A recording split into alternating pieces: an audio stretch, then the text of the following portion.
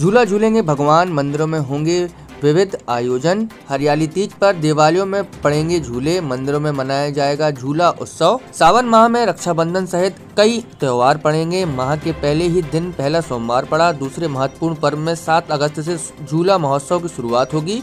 महोत्सव के तहत रवि और शिव योग में शहर के देवालयों में झूले डाले जाएँगे। इन झूलों में भगवान को झुलाया जाएगा। महोत्सव नागपंचमी तक रहेगा। इस दौरान मंदिरों में प्रतिदिन विविध कार्यक्रम का आयोजन भी होगा। झूला उत्सव आगामी नाग पंचमी पर्व तक चलेगा। इस अवसर पर मंदिरों में सावन गीतों की धूम रहेगी। ढोलक की थाप पर झूला उत्सव से संबंधित गीतों पर महिलाएँ झूमती उठेंगी। हरियाली तीस में, हरियाली तीस से दिवालियों में पड़े झूले नाग पंचमी नौ अगस्त तक देवालयों में रहेंगी।